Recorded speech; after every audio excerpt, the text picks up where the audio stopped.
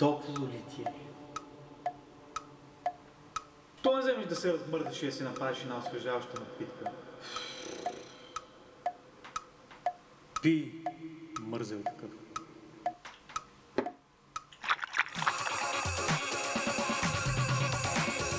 Нали не сте толкова мързеливи? Здравейте ли си да аз съм Сан, а това е втори епизод на Instant Lifestyle.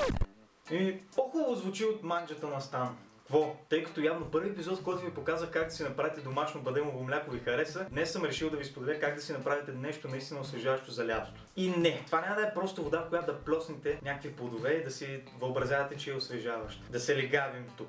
Някои българи в България прекалено много са гледали американци. Хубаво да не забравяме все пак, че сме в България. И българинът харесва концентрирания вкус. Та днешната напитка не само, че е с доста силен и наситен вкус, ами освен това е доста ободряваща и с много високо съдържание на витамини, фибри и антиоксиданти. Ама стига сме приказвали, айде ходим в кухнята.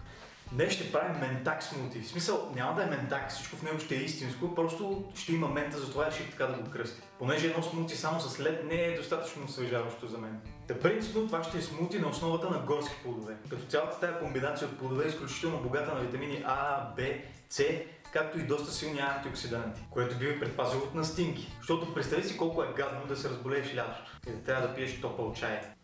Да кихаш, да кашляш дълга широка. Първата стъпка преди да направите смутито, след като разбира се ви кажа какво ви е нужно, е да проверите в хладилника дали имате продуктите. Ако ги нямате, еми отивате до магазина и си ги взимате. Ето и това е туториал как се отива до магазина за два лайма. Така, сега останете за да видите какво ще ви е нужно и как да си направите ментак смутито. Така, първото нещо е да си приготвите уреда. Блендер, миксер или пасато, в зависимост от това какво имате. Първата важна съставка на нашото смути са около 50 грама банан. Може да го замените с авокадо, в зависимост от това какво имате. 50 грама са приблизително половин банан.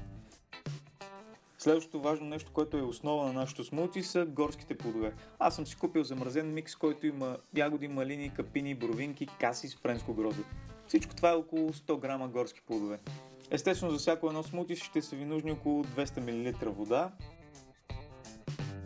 Тайна съставка номер едно е ментата, която ще направи нашето лятно смути изключително свежо и приятно. Тайна съставка номер 2. Забележете сокът от половин лайм.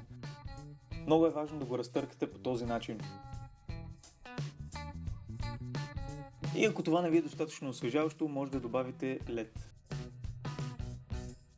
Така, следващото нещо, което трябва да направите е да намерите чаша за вашето смути и да сложите банана. Това са 50 грама банан. Избирам винаги и слагам банан в моите смутите, защото носи енергия.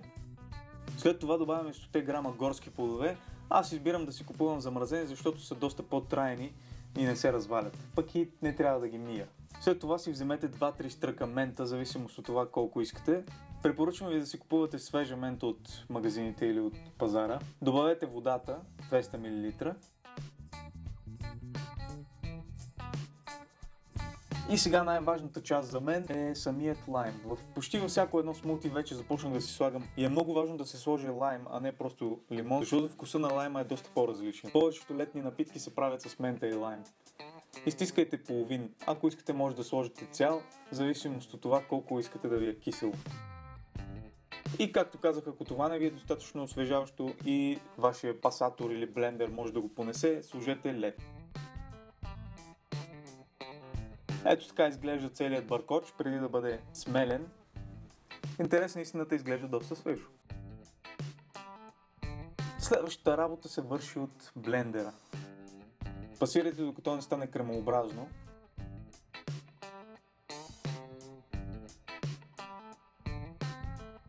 И след това се насладете на страхотният вкус. Е, това беше смутито. Както виждате, нищо сложно, сега само да не ви мързи. Знам, лятото е много трудно да не те мързи. Разбирам ви. Ако ви е харесало клипчето или имате някакви идеи да ми кажете какво искате да ви покажа, примерно как се прави сутляж, може да го оставите долу в коментарите. Също така видях, че проявявате интерес към идеята с тениските. В момента се разработват няколко много свежи дизайна, които се надявам да видите в най-скоро време. Иска си организация, момчетата, които правят онлайн магазина също имат нужда от време, но мисля, че ще си заслужава чакането. И това беше всичко. Ай, чао!